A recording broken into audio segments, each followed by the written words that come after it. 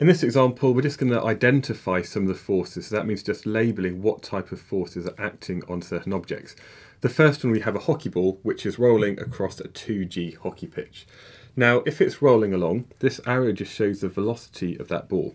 But once it's rolling, there's no driving force keeping it going. Instead, there's only going to be a force which is slowing it down, which is in the opposite direction to its motion. So if the ball is moving this way, there's going to be a friction force acting the other way. And this is going to be friction between the ball and the ground and also perhaps some air resistance as well.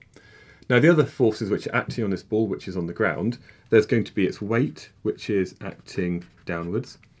And uh, counteracting this weight, what stops it falling through the actual hockey pitch itself is that that pitch is pushing upwards with what we call the normal contact force. So they're the forces which are acting on that ball as it's rolling along. The other example uh, is if we have a boat which is moored in a harbour. So if it's moored in the harbour, it means it's not actually travelling along, it's just sort of pretty much sitting still on top of that water. And now for this, um, there's going to be a downwards force, which is due to its weight. And what you'll find is that in sort of 99% of the times, the downwards force is always going to be caused by the weight, which is the mass of an object uh, in a gravitational field. Um, but what's stopping it sinking? Well, as this is underwater, what it's doing, it's displacing some of that water, and that means the force acting upwards is actually called upthrust.